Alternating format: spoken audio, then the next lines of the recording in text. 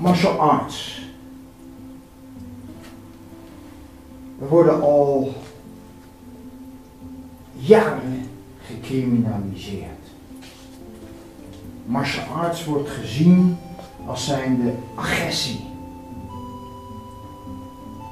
Wij zouden dus mensen slaan. Een, een, vraag die je dus met een regelmaat krijgt is: Zo jij doet aan vechtsport, dan ben jij dus een gevaarlijk persoon. Of je krijgt te horen: hey, jij bent een bokser, dan moet ik wel oppassen vandaag. Want jij kan me wel eens slaan. Mijn antwoord is altijd vrij simpel. Ik denk dat ik eerder voor u op moet passen. Want u heeft die gedachten van agressie al bij zich.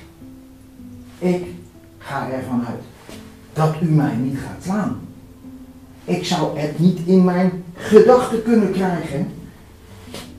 Het idee zelfs maar dat iemand die ik nog net ontmoet heb, mij al direct wil gaan slaan. Dat idee is onzinnig. Maar het idee van die persoon wordt wel gevoed. Want gevechtsport moet steeds effectiever worden. Want wat is effectief nou eigenlijk?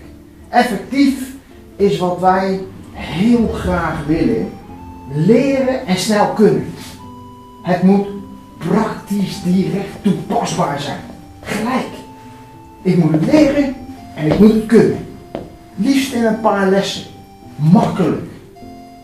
Net als fastfood. We moeten er niet te veel voor gaan trainen. Ja, wij willen wel trainen. Maar niet te lang. Want als het te lang duurt, dan word ik moe. En waarom zou ik mezelf dan nog verdedigen? Dat is een beetje een onlogische gedachte. Terwijl onze militairen, terwijl onze politie zou in principe voor onze verdediging moeten zorgen. En die moeten dus elke dag trainen, officieel. Dat ze het niet doen, geeft alweer dat we eigenlijk te maken hebben met een vreemde maatschappelijke gedachte dat agressie fout is.